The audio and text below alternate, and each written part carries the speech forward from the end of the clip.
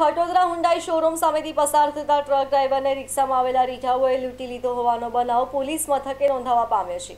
Khatodara police પાસેથી મળતી માહિતી મુજબ મહારાષ્ટ્રના ગોપાલ ધડનો અને ટ્રક ડ્રાઈવર તરીકે કામ કરી પરિવારનું ગુજરાન ચલાવતો આસમ ખાન સુરતમાં ખટોદરા હ્યુન્ડાઈ શોરૂમ પાસેથી પસાર થતો હતો.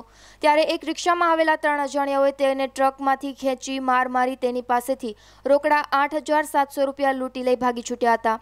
હાલ તો બનાવ અંગે ખટોદરા પોલીસે ગુનો નોંધી વધુ તપાસ હાથ ધરી છે. Bureau report, LK star news, Surat.